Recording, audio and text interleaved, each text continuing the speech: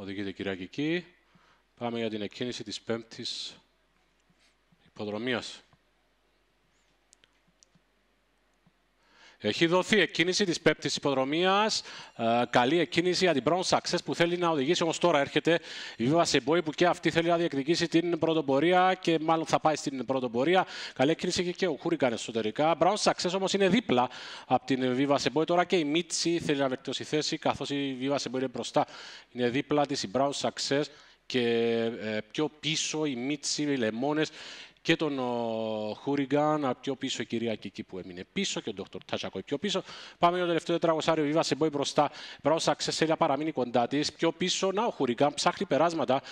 Η Μίτση πιο πίσω, Βίβα σε μπόι μπαίνει με πλεονέκτημα και τώρα το αυξάνει. Είναι 4-5 μήκη από την Brown Success των Χούριγκανάκι Λεμόνες που κάνει φίλη. Βίβα σε μπόι μπροστά. Η Brown Success είναι στη δεύτερη θέση. Πιο πίσω οι Λεμόνες. Βίβα σε μπόι στην πρωτοπορία. 4-5 μήκη.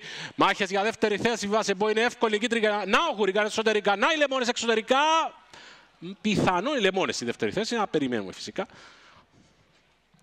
Και ο Χουρικάν κοντά. Μένει τέταρτη Brown Success.